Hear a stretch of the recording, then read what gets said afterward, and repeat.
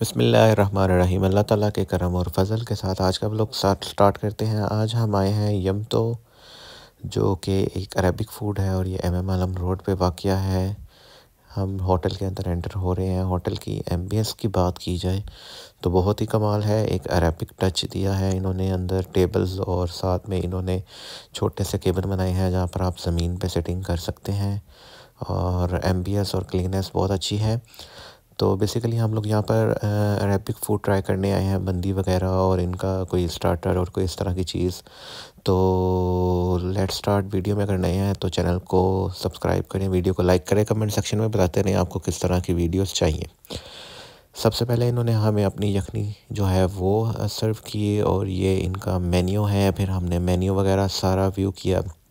जिसमें हमने स्टार्टर पे इनका एक स्टार्टर प्लेटर ऑर्डर किया और इसके अलावा इनके मेन्यू में इनका जो था वो एक मंदी, वो ऑर्डर की। हमारा ऑर्डर आ गया, हमने ऑर्डर देखें, आप मंदी है प्रॉपर प्लेटर है, जिसमें बारबेक्यू भी है और बीच में चिकन पीसेस हैं और उसके अलावा जो एक स्टार्टर था इसका, वो इस तरह का था जिसमें सारा कुछ ऐड किया हुआ था।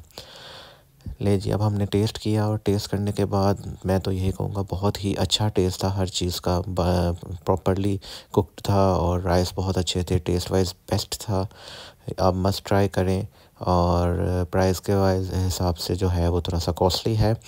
और एम एम आलम इसकी लोकेशन है लाहौर और जैसे इन्होंने अपनी सॉस बनाई है टमाटो सॉस और जो है रायता, इसके साथ मतलब बहुत अच्छा एक टेस्ट आ रहा था कम्बिनेशन का बारबेक्यू का भी और साथ में मंदी का भी।